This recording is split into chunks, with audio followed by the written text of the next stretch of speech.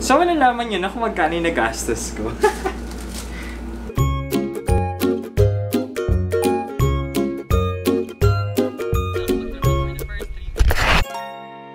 And hey forever, so this is another haul video. Now is around 10.20 na, 10.20 na ng gabi and mag-shoot ako. So medyo may mic ako and kung maingay man, sorry na lang. Nagpalit ako ng cap kasi pangit kasi nung white. So try natin. 'Di ba? Parang hindi ako masyadong kita. So nag magpapalit ako na lang black para iba naman yung tsura, okay? So palit tayo. Ayun na nga, this video will be a haul. Kung napanood nyo na yung video ko, it's about yung Big Bad Wolf. And I got two bags. This is the first one. Tapos, yung isa is nilagay ko sa loob ng aking backpack. So, this is the receipt. And, ito siya. Okay. So, hindi ko alam kung anong unahin ko. So, probably, unahin ko na yung mga andito. Nagkaroon ako dito ng, ng mga off. So this is 30% off any purchase of bookexcessonline.com. Um, I'll just post it so marami makatanggap. Hindi ko alam kung paano siya gamitin. So mag-start ako dito sa puzzle. The Office Espionage Kit. Tingin ba?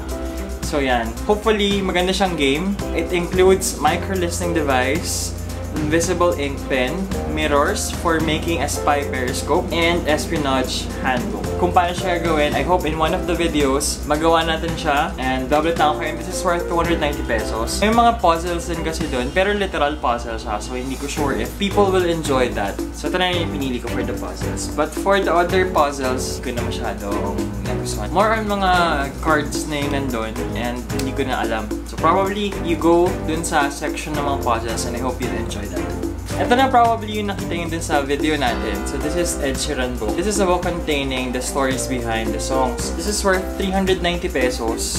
Medyo glossy siya since fan naman ako na Ed Sheeran. Uy, ang galing! It matched lang! Oo, diba? Anyway, uy, hindi ko plinano yan. Siguro I'd enjoy reading kasi marami kang matutunan why ganun yung kanta. And also, sa mga fans Sheeran, so I, I hope you grabbed uh, this book. Mukha naman okay, and although luma na nga lang siya, and if it probably heard or nabasa mo siya sa mga docu or whatever, mukhang ganun rin yung laman ito. But I think, di ba? Why not? So, hindi ko alam kung anong susunod ko, but from that same na plastic is this. So, this is the greatest equation.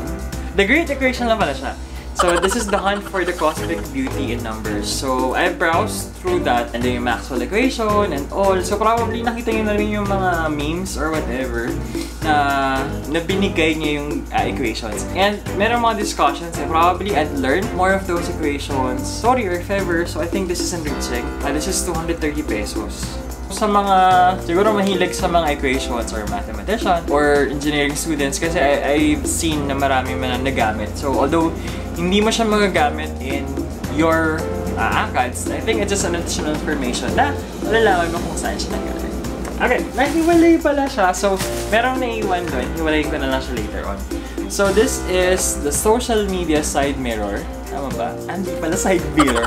side door. Uh, nakita ko siya and parang maraming mga tips on how to be a better social media. Hindi siya personality eh. Parang ano, uh, more on business since I'm starting vlog tayo before, ngayon nag-start tayo ng business, baka in the future I might need this book and hopefully after ko siya mabasa, I'd get most of my social media etiquette or kung ano man yung mga customer relation regarding social media.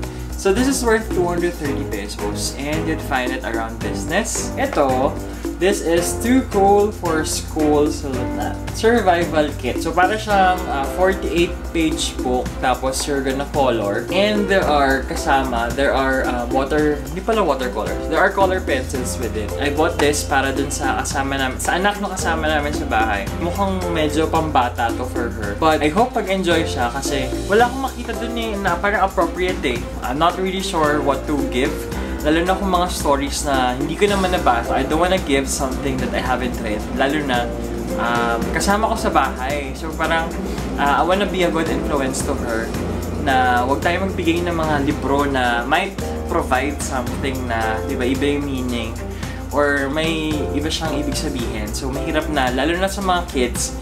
So anyway, so this is just 120 pesos. Marami pang mga activities na ganito. Nandun siya sa mabandang dulo. think, okay din na pasamahin yung mga kids nyo so they can choose.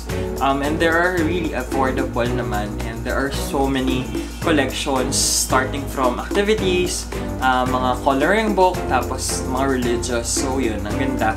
So I hope uh, madadala yun siya, especially this weekend. Okay.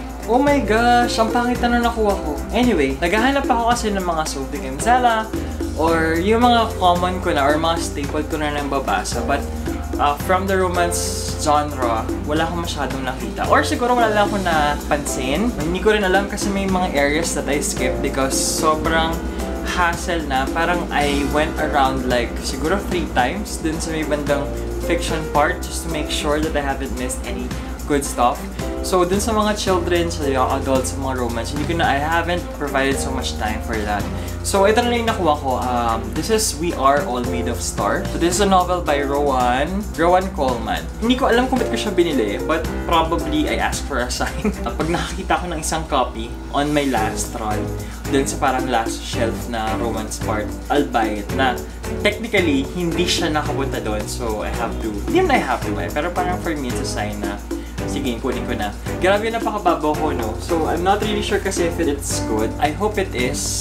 Kasi wala yung mga staple ko na offers na binibili. Binibili or sinusubayban or like, I like the way of writing. Um, I think yun nga lang, okay yung title. Tapos, when I look at dun sa mga reviews, okay naman. For me kasi ito yung normal lang, although pulang-pula siya, no? Siguro, anyway, cute lang. So, this is worth 230 pesos and one lang ang binili ko for the novel. Next, may nabili ako na hindi ko sure kung parang textbook siya. This is Ethical Leadership. So this is worth 230 pesos. I'm browsing through this, this book, mukha siyang textbook.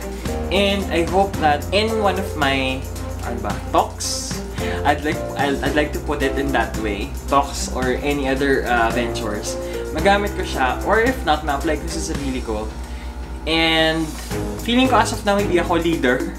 And ayoko masyadong maging leader since I really don't like having the pressure of handling people. Mas okay ako to create my own content and decide kung ano yung gusto ko. And I really appreciate that. But in the event that I'd be a leader again, I hope that I'd apply this. And wala nang masama to learn from different people. And I think this is, uh, mas nakuha ko yung creating and sustaining an ethical business culture.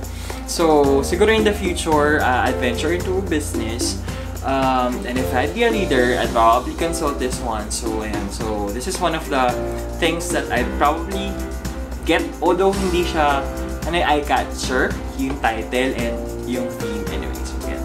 Next is, itong book na to. Um, pinagpipilian ko siya with Think Simple. Hindi ko sure kasi, pero when I read yung reviews, it was hindi ko sure kung it came from an author na nasa loob ng Apple. So, working with Steve Jobs and all. So, parehas lang sila ng rating.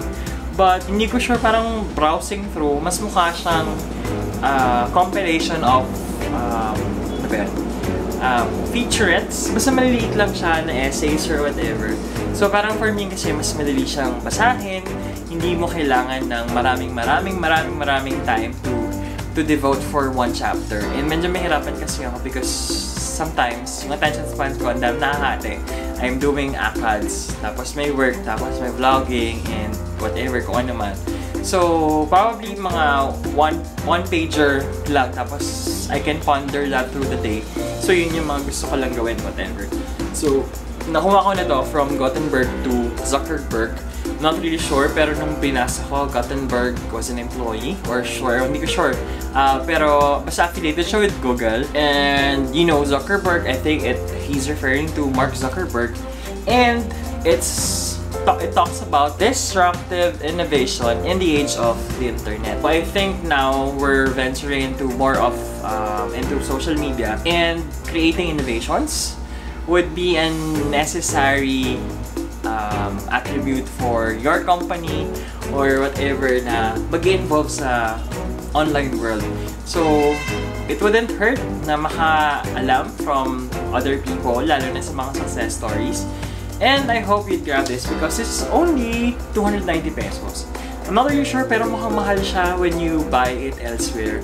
So I think yun yung kagandahan din when you participate or when you um, look to um, the Big Bad Wolf or other sale for that matter. So this one, ayan. So if you're smart, why aren't you happy? Siguro, I'd like to know if I'm smart, pero mukhang okay naman ako. I'm not sad. Though, I can't say I'm happy because I'm venturing to different stuff. But anyway, so on the first part of this book, meron ka mga checklist or basta may sasagutan ka wherein you tell if you're happy or so on so on. So parang it could be a good start for you to venturing this book.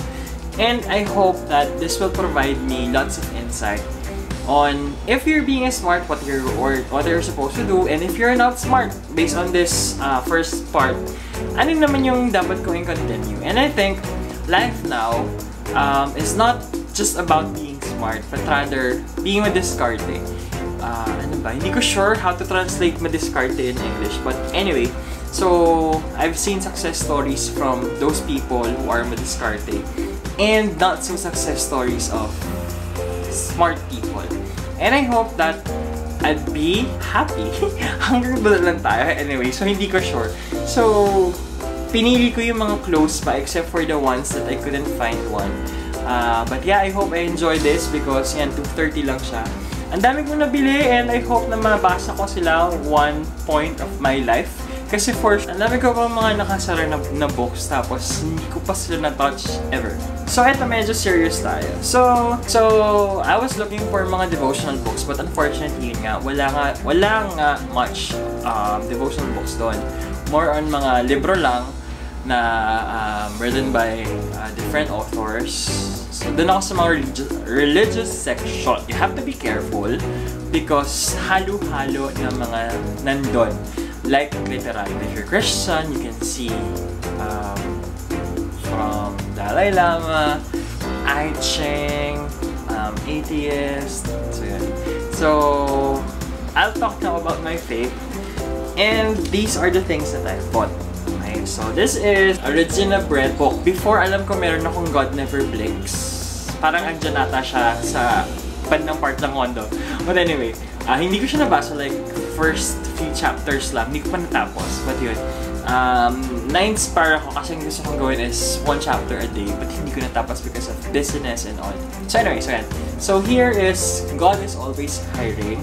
And I think it talks about finding fulfilling work. Right now, I'm into assessing myself, whether pursuing other stuff other than my own career. I believe God is telling something uh, on what should I do. Pero medyo matagas talaga ulo ko, so kung ano yung gusto kong gawin. Anyway, so I hope that this will help me figure out kung ano yung dapat kong gawin that is fulfilling and at the same time provides. Excited ako, hindi ko alam kung ano yung gusto kong unahing basahin. Pero I hope na ito yon ingay. So I hope na ito yon So sana makatulong siya in my life to decide kung anong gagawin ko. Whether I do vlogging lang, pero alam mo matagal pa yon So I just enjoy things right now.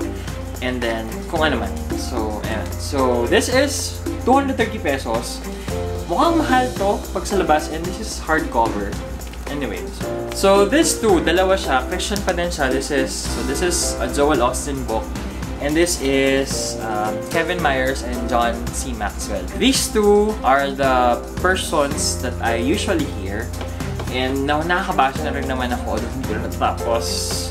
Um, when it comes to Christian, I was hoping, I was hoping to get more, ano ba, deeper mga writings ng mga, you like A.W. Tozer, John MacArthur. So, mga ganon.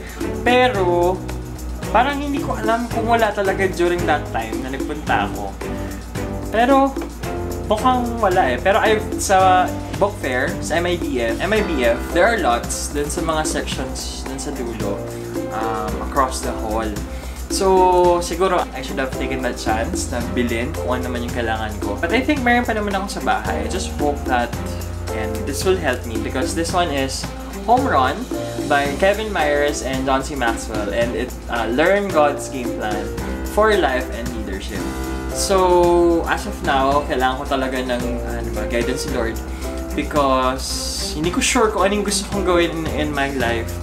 Um, I think I've accomplished kung ano may nagawa ko during the past years, uh, first 25, kung ganun, years of my life. And currently, medyo hindi ko alam kung I should continue or pursue kung ano yung gusto ko or kung ano yung pinapagawa sa akin ng Panginoon. Hopefully, this will help me, pero hindi ko sure kung ano yung unahin ko out of everything. And then, ito na yung last. This is the last book This is Breakout Journal, a guide to go beyond your barriers and live an extraordinary life. This is a journal I hope na makatulong siya sa ating mga daily lives and I, I hope to recommend that.